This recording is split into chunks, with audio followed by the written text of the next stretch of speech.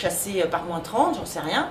Ce qu'on sait par exemple dans les communautés africaines qui est très intéressant, c'est que ce qu'on reconnaît nous comme objet d'art, et ce qu'ils revendiquent d'ailleurs comme étant la production artistique propre, c'est que les masques, ils sont produits non pas par des artistes dédiés, mais par les jeunes gens en tant que rite initiatique, à un moment donné de leur vie, doivent produire leur masque ou un masque pour les cérémonies de leur communauté. Donc il n'y a pas cette notion d'artiste au service d'un client. Euh, voilà.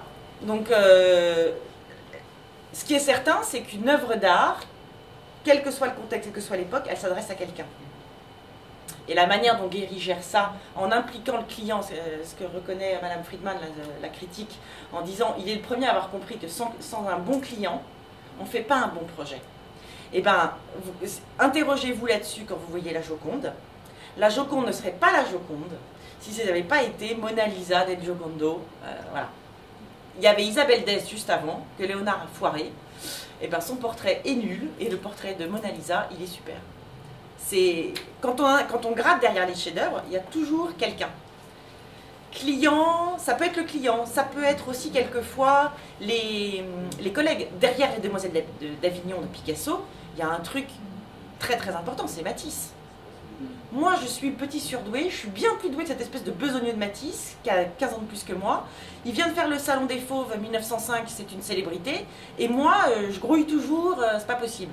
Il y a une émulation, là, entre concurrents. Euh, quelquefois, c'est les modèles aussi. Mais il y a toujours quelqu'un, il y a toujours du relationnel. C'est une dimension de la créativité, ça qui est très importante, on le sait tous.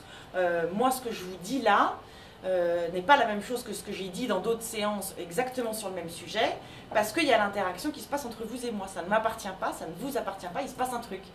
C'est le tiers, c'est la fonction du tiers. Ben, dans la création, il y a ça.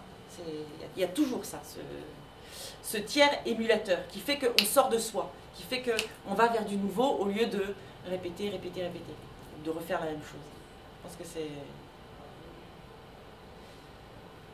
Il y a la relation avec ses clients, il y a aussi la, relation avec ses, collaborateurs qui est à la fois très directif et en même temps on sent qu'il inspire un respect énorme, que les gens le restent, euh, restent quoi. Vu comme il les traite, le gamin qui est là depuis 15 ans, le Craig c'est euh, je sais pas, 30 ans de collaboration. Il a pas loin de 80 ans quand même maintenant, Fanguéry. Hein. C'est pas, euh, pas tout jeune. Puis l'autre aspect, euh, la longue séquence qu'on a vue sur euh, le musée de Bilbao, vous avez vu, bon, alors il y, a, le côté dithyrambique et puis il y a la critique, au moins comme ça, la polémique est posée. Ce qui était intéressant aussi, je pense, c'était la manière dont la critique, là aussi, met en perspective ce projet-là par rapport au reste. Qu'est-ce qui s'est passé sur celui-là pour que tout d'un coup, il réalise vraiment un truc ovni, alors que jusque-là, il avait fait des choses, tâtonné, essayé, mais il n'était pas dans une œuvre aboutie. Dans un parcours d'artiste, il n'y a pas que des chefs-d'œuvre. Certainement qu'à l'échelle de la carrière de Guéry, Bilbao en est un. Et elle, dit très bien que c'est le fruit d'un cheminement. C'est pas, il a décidé de faire un chef-d'œuvre, là, il a décidé de tout oser, de prendre tous les risques possibles. Non, il fait une synthèse. Il était mûr. C'était le bon moment, les bons interlocuteurs, le bon, timing. Il y a aussi un facteur euh, d'opportunité, de hasard, quoi, finalement, dans le, fait que se cristallise à un moment donné une création d'envergure ou au contraire euh, un flop qui, qui, retombe. Est-ce qu'il y a d'autres questions ou d'autres remarques? Ce qui interpelle quand même, c'est justement sur, euh, cet aspect cette euh, élaboration, ce projet euh, qui explose, ce projet architectural qui explose, tout part tant au niveau du visuel que de, du, matériau lui-même, c'est de le voir travailler dans cette pièce avec euh, comme des dominos, enfin du papier, des choses tout à fait extrêmement basiques et, et, à la fois tellement d'une simplicité par rapport à, à ce, à ce, ce chef-d'œuvre, moi je, reste quand même interpellée. Euh, vous me parlez de logiciel, et puis à la fin en 2010, et là on voit un type qui travaille avec un jeune homme euh, dans, dans, cette, euh, dans cet esprit tout à fait bon enfant, comme ça, et puis c'est du papier, puis je découpe. Il y, a, là un décalé, je trouve, dans cette... Mais ça rappelle une chose, qu'on finit par oublier parce que dans ces termes d'innovation et de créativité qui nous environnent, on ne sait plus très bien qu'est-ce qu'on met. Il y a une chose qu'on oublie, c'est euh, que ça part, de, ça part de rien. Ça part de trois fois rien. Ça ne veut pas dire que la technique actuelle, les logiciels auxquels on a accès rendent pas possible des choses qui étaient impossibles il y a 10 ans euh, ou il y a 20 ans. Ça c'est vrai, bien sûr que c'est vrai. Mais le point de départ, il reste de la bidouille.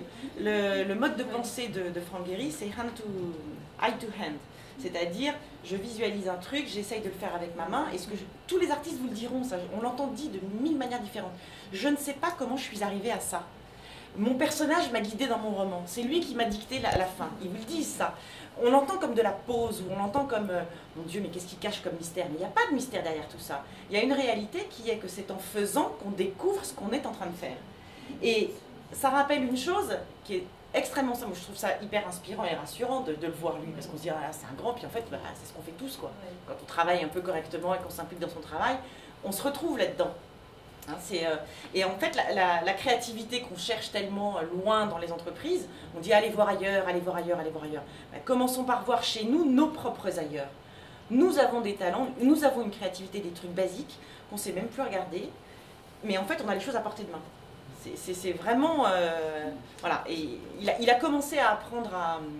Il a commencé à, devenir créatif ou à avoir cet instinct là de, faire de la sculpture ou des arts plastiques. Euh, en, chez ses parents, je crois que c'était son, père qui était euh, menuisier.